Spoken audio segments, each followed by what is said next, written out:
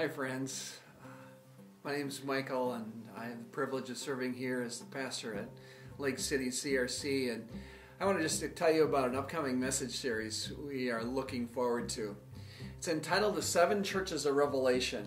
I know when you think of the word revelation, a lot of weird pictures can come to mind, um, and it can sound, you know, irrelevant. But what you're going to find is as we take a look at what Jesus was saying to these churches, you're going to find it's really relevant for the church today. These were these were churches that were hardworking, people of faith, um, sometimes going through some really tough times, and to hear how how the Spirit was engaging them will be real helpful for us in how we move ahead these days. So we're going to begin uh, 1st of February. I hope you can join us uh, as we take a look together.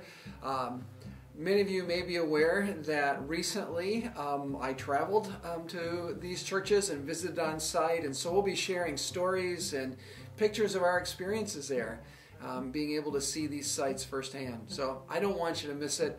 It's going to be a great study together, so come join us. I'll look forward to seeing you. Blessings.